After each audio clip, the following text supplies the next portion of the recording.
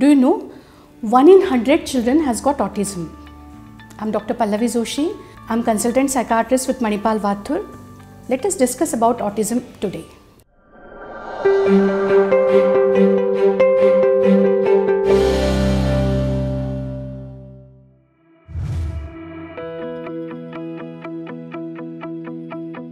Autism, what we typically say is the group of disorders. Autism spectrum disorder, basically developmental disorders, okay, where the brain develops little differently than what we consider normal.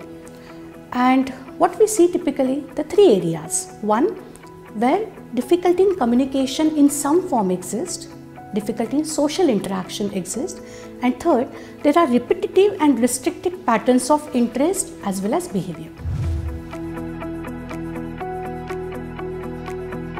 So, what we typically say when we talk about early signs of autism, commonest is when the baby is you know three months old. The eye contact is something which is really strong. Okay, it gets established around two to two and a half months. And it gets stronger, particularly with attachment figures. So, eye contact is a very important sign when it comes to autism. It is poor. It could be absent. One. Second thing, you know, when the baby is small, you must have noticed if you have handled the baby, you know, they have the anticipatory posture please hold me, please take me. So that is absent in autism. Third thing, what we definitely say, you know, the signs of affection. Okay, so when the parent comes in, usually the child smiles. Okay, or they have the ways of showing affection. They cuddle, they just rub their cheek against you. So they have their methods of expressing love and affection. That could be absent.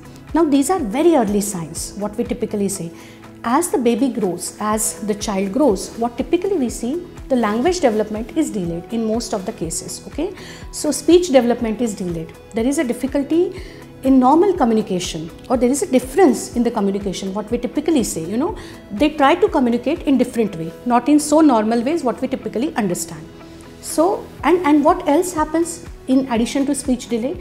There could be pronominal reversal. So if you ask, what are you doing?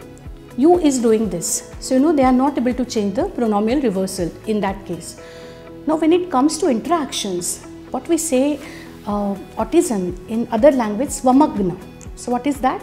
They are just engulfed in themselves. So, interaction with others is quite less. What else happens to these children? They engage in self-stimulatory behaviors. Most of the parents who have seen autism uh, kids who are dealing with autism kids, they see they will do some self-stimulatory behaviors, repetitive same action, repetitively doing the same thing. Now these children, they are very prone for anxiety. So what happens, little disruption in their routine, there could be temperamental issue. They may throw a very bad temper tantrum. What else happens? Irritation, getting irritated for petty reasons, that could be there and what else happens in addition to these features okay there is a heightened stimulation heightened sensitivity to certain stimuli so for sound for something they might get irritated very easily where whereas to pain we have seen cases we know where ruptured appendicitis had happened and the child didn't complain of pain in autism so what happens there could be lessened sensitivity to some stimuli okay so these are few features now in addition to that Many autistic children have comorbid issue.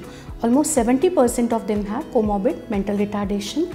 They also have learning disability. They might have depression and anxiety issues which are also unaddressed sometimes and many have as you know the development of brain as we told in definition is little different they might have even seizures the feats so these are some early signs of autism but what we typically say, you know, in few cases, what I would like to add, a child may develop normally till 18 months, okay, or 9 months, and there could be loss of milestones. So we have cases where the child was having eye contact earlier, where the child was talking earlier. But after 18 months, after 20 months, there could be reversal. So the milestone may get reverted to whatever we say regression. They might not be able to do the activities what they were doing earlier.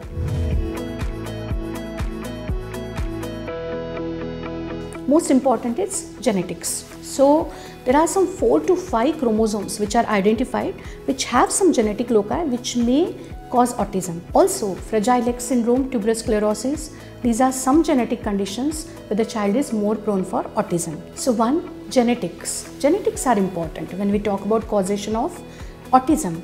So there are some 4 to 5 genes which are implicated where some genetic loci are there which are implicated in autism, one point. There also, you know, Fragile X and tuberous sclerosis. These are known medical conditions which make a child more prone for autism. One point. Second, what we say, advanced maternal and paternal age. That is also one of the independent risk factor for autism. Most of these autistic children, when they were taken for some studies, they found to have high plasma levels of serotonin. So that's also one of the cause indicated which may lead to autism. Some of the factors, you know, which are less known, what, what we, we have still not understood, maternal infections. If the mother has some infection like rubella, cytomegalovirus, that increases the risk of having uh, autism in the kid.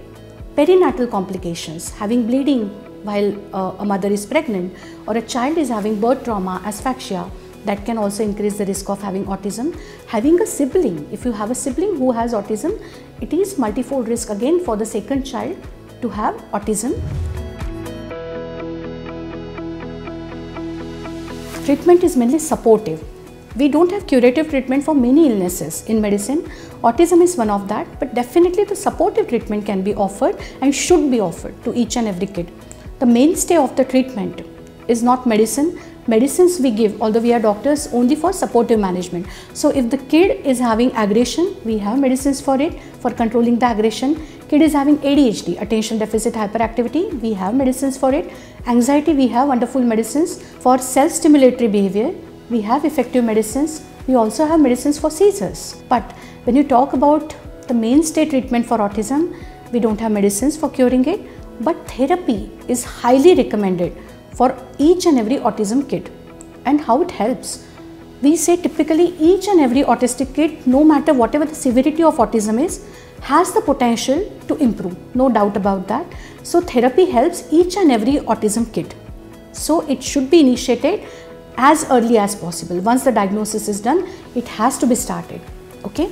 So, we have role of different different specialists in managing psychiatrist, developmental neurologist, psychologist for taking therapy sessions, OT, occupational therapist for you know development of some social skills which are really required for integration in society, as well as the role of shadow teacher, special educators. Now, what is the aim of uh, the therapy? One is the speech development should happen. So, speech therapy should also be there in all these team. Secondly, social interaction should get better because for every parent, what is the goal? They want the child should lead an independent and happy life. So for that also you know social interaction need to be better.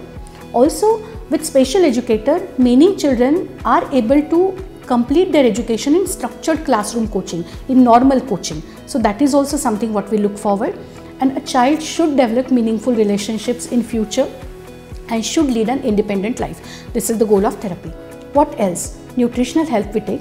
Most of these children have leaky gut syndrome. So what is that? They have constipation. They have a lot of digestion issue. So help of nutritionist is really recommended. And simple simple changes they sometimes just tell you like introducing ghee or having casein free or gluten free diet and it could be helpful for many people. What i would like to really talk about is parents okay and we typically say each child you know each autistic child if has got something special is you know a parent who is refusing to give up on that kid. So this is very important. When being parents, you know, uh, sometimes it's very exhausting for most of the parents.